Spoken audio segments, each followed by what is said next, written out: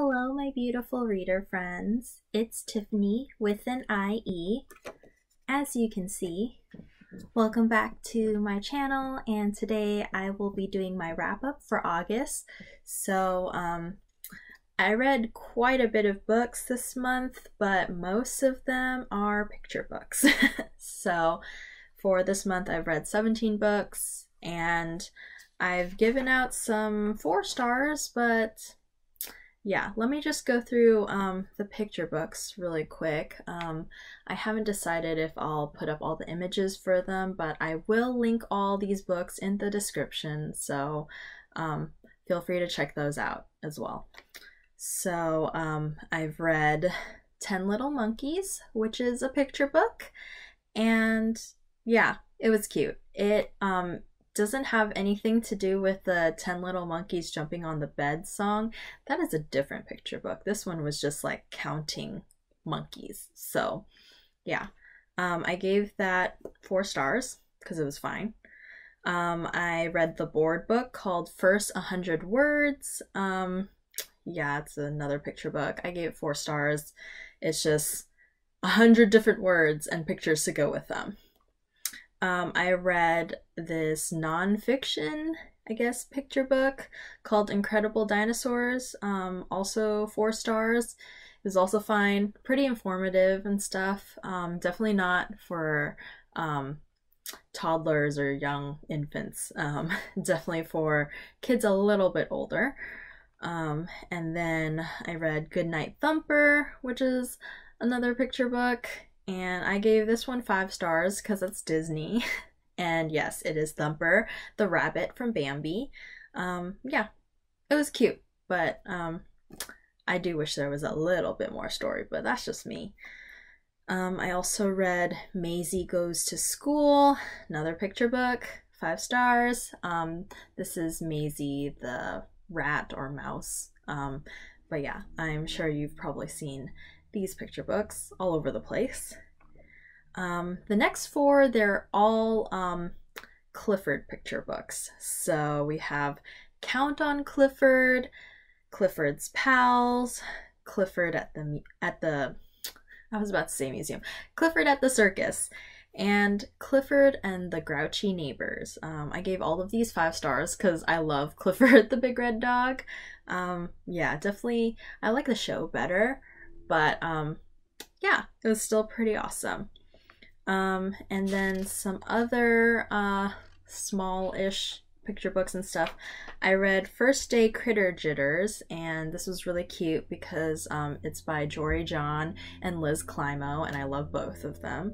So it was super cute, gave it five stars. Um, I read I Am Pusheen the Cat. This is kind of like a picture book, comics.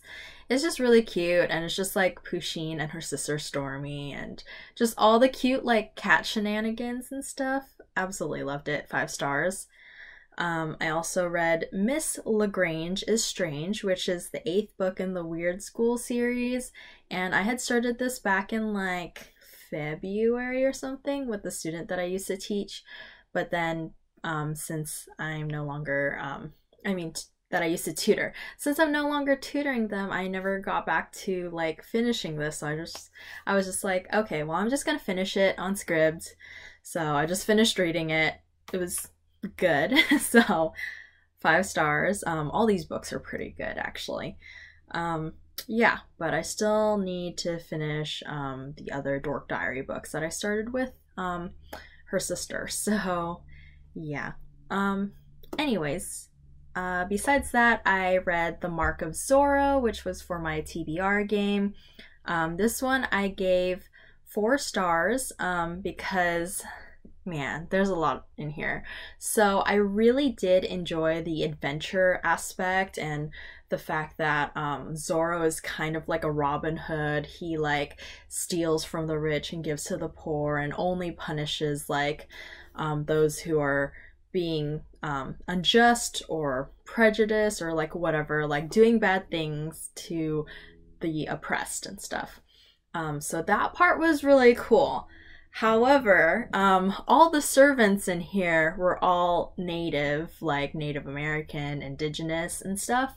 And there were even depictions where, like, it said, like, oh, the natives would be like jeering and stuff as, like, so and so got punished or whatever, uh, wrongfully punished. And I was just like, mm, I don't really like this sort of language. And it just, yeah, and just the whole thing of like even though it's like not um American slavery with like African Americans being enslaved, it's still bad because it's still like a minority, even though the Native Americans were here first. But then why are they servants, even though they're not technically slaves, they're servants, but like some of them still get treated badly? And yeah, it's just it's just weird. So that's why I gave it um, one star off. But besides that, like the story was really enjoyable and it was fun. Um, yeah, so, but definitely, oh my gosh, that whole like all the stuff about like the natives, like I was not down for. Okay, moving on. Um, I read um, Ember of Night, which was Mysterious Galaxy's young adult book club pick, and it was absolutely amazing. And I get five stars. So, yeah, it was so good. Um, it was just like, just I was so absorbed into the book and I did not want to stop, even though I had to like run errands and stuff that day. And then for book club, the author joined us on Zoom, so that was a lot of fun. We got to ask her questions and stuff. But yeah, I really love that book, and it's going to be a trilogy, so I'm super excited to see where the story and the characters and everything go. Um, since there is a bit of a cliffhanger at the end of the book. Um, yeah, so absolutely amazing. Um, oh, I forgot to hold it up. Here, this is Ember of Night. Sorry about that. Um, so next I read Lamb, which is this book. I have this special edition. Um, it's by Christopher Moore, and um, yeah, this is a really cool edition that looks like a Bible because this is told from the point of view of Biff, who is who is um Christ's childhood friend and it's pretty hilarious. Like, I really enjoyed it. I laughed a lot, so I gave this five stars. Then I read Aurora Burning by Amie Kaufman and Jay Kristoff. This is the sequel to Aurora to Aurora Rising. And I'm so excited because the third book is coming out in November. And this one also had a bit of a cliffhanger at the end, but yeah, this was like so good, just as good as the first book, so another five stars.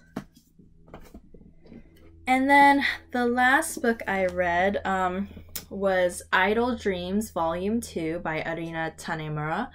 And I just butchered her name. Arina Tanemura. Um, she is one of my favorite manga artists.